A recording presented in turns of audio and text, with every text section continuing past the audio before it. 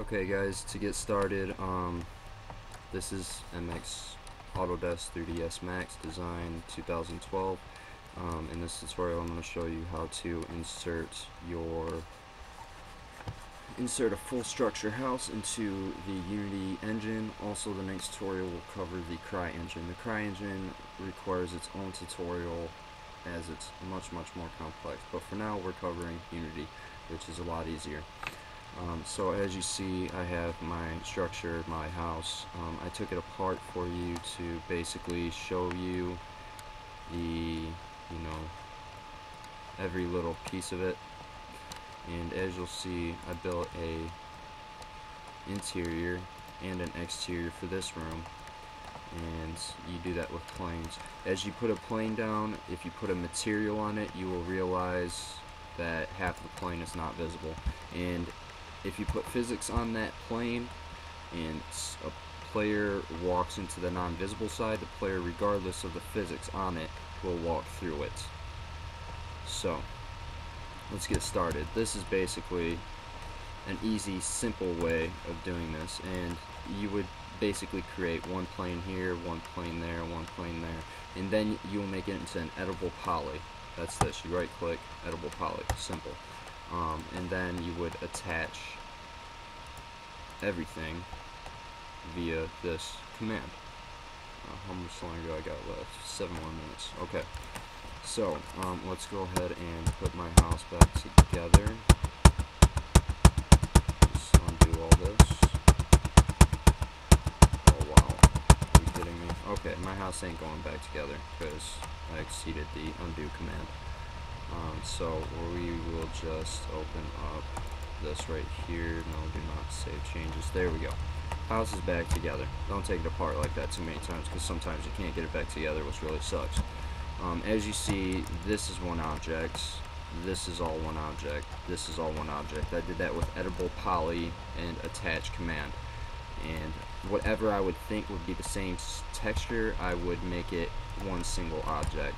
This makes it effective for the leader or the person that's holding the game engine of the development company's group to effectively insert textures into the structure really fast.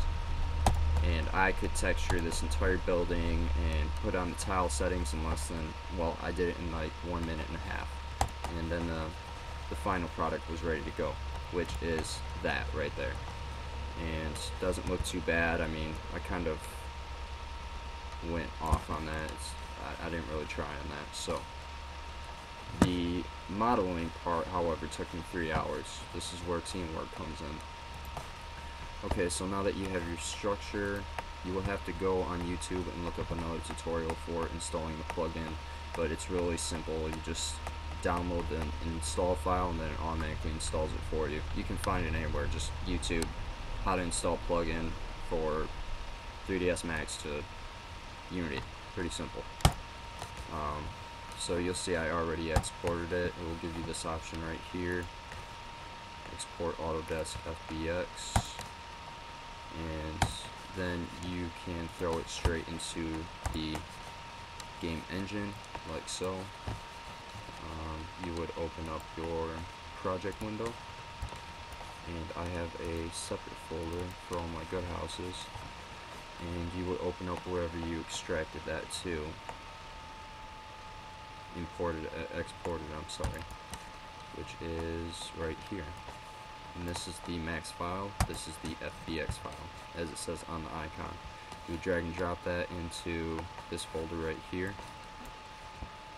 And it automatically updates itself and throws it in the folder. This one looked a little bit more detailed. I'm not exactly sure as to why but as you can see, everything is separate. It actually separates it into different, wow. That's pretty cool. Anyways. So there you go. And then you just drag and drop it right onto your scene in the game. Looks like crap because I don't have a sky background or the ground background. I just kind of working on getting the basics in the engine, structures, all that stuff. So as you see, I, I made plain houses out of all this. I used planes for this. That house right there. And um, when you select, you can also select one object and then you'll go to component, physics. You want to add a mesh collider that makes it so your player can run through the doorways, anything that doesn't exist right there, they can run through. If you add a physics, if you add like a box collider, it's just going to make a huge physics box around it and your player will not be able to run through it. So let's jump into the game here and I'll show you guys exactly what you're dealing with. Um, I'm going to open up the game window.